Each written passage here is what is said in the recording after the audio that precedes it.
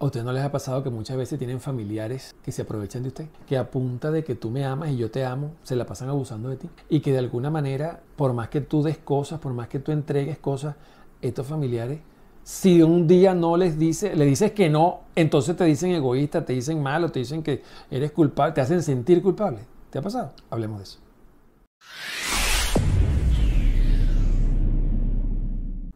¿Cómo están? Les habla Alberto Barra, arroba psicovir en redes sociales, psicólogo clínico venezolano. Sí, lamentablemente tenemos familia así. Muchas veces tenemos esa familia abusadora que está con nosotros por interés, que empieza a utilizarnos desde el punto de vista económico o también emocional, esos vampiros emocionales. Digo así porque te chupan la sangre del cuello. Este vampiros emocionales que de alguna forma lo único para lo que te buscan es cuando lo necesitan. Sí, tenemos familiares así. Y tú sabes lo que es peor, que muchas veces esos familiares, nosotros los amamos profundamente porque son hijos, son padres, son hermanos, sí señor, y abusan de nosotros, abusan, porque entonces, ¿dónde está el abuso? ¿Dónde veo yo el abuso? Yo veo el abuso en que te piden cosas, ¿verdad? Entonces tú se las das, tú se las das porque tú los quieres, tú los amas, son tu familia. Te piden más cosas, tú se lo vuelves a dar, tú, ajá, tú agarras y le das chévere y toma, yo te doy todo mi amor y todo lo que necesites y toma. Un día te, te piden algo y tú dices, no puedo Puede ser que no puedas en serio. O dice, no quiero. O dices X, cualquier excusa, pero que no le vas a dar. Entonces, pero tú eres malo. Tú eres malo. ¿Cómo es, ¿Cómo es posible que no me vas a ayudar?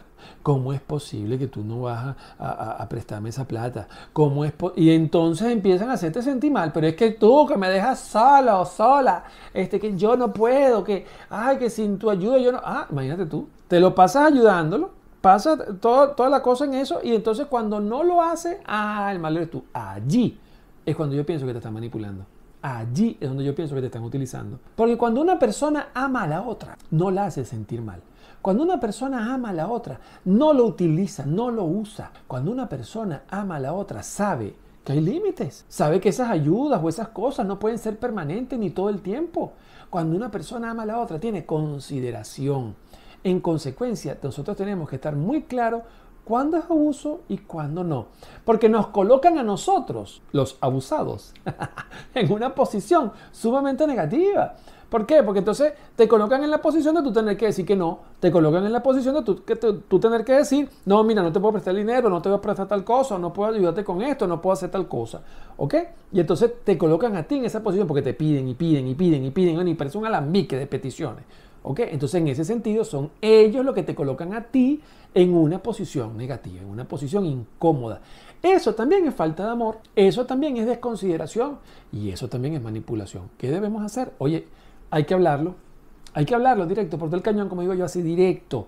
Hay que decirle, mira, vale, pero ya basta, porque tú me has pedido mil cosas, chicos, yo te he ayudado y yo te he hecho mil cosas. Y se ay, ay, me estás sacando las cosas. Sí, te las estoy sacando, te las estoy sacando.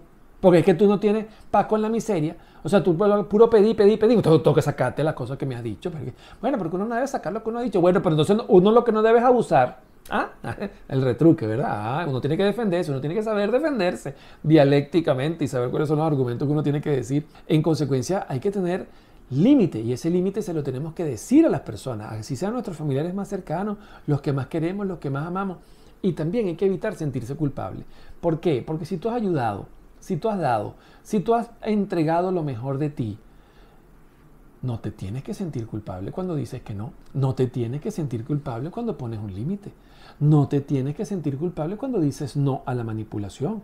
No te puedes sentir culpable por ser una persona que tiene fronteras relacionadas a las cosas que puede dar, que puede otorgar, que puede prestar. Así que la culpa por ahí no vale. Por una parte entonces poner límite y por otra parte dejar la culpa porque no tiene ningún sentido. Si te aman, Fíjate que lo pongo en condicional. Si te aman, van a respetarte. Si te aman, van a entender que lo están haciendo mal. Si te aman, van a asumir que han cometido un error.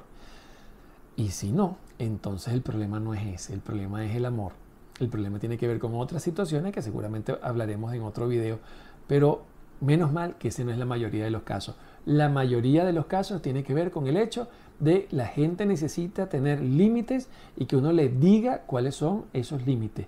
En ese sentido, cuando lo aprenden, la cosa empieza a caminar mejor, la cosa empieza a fluir mejor. Así que tienes que tener la, valentía, la estructura de personalidad de saber decir, hasta aquí nos trajo el río. Ya no puedo seguir en esto y no me voy a hacer sentir culpable y quiero que asumas que hay límites que no se deben romper. Te invitamos a visitar nuestra página web www.psicovivirinternacional.com y disfruta de todo lo especial que Alberto Barradas junto con su equipo ha preparado para ti. Recuerda www.psicovivirinternacional.com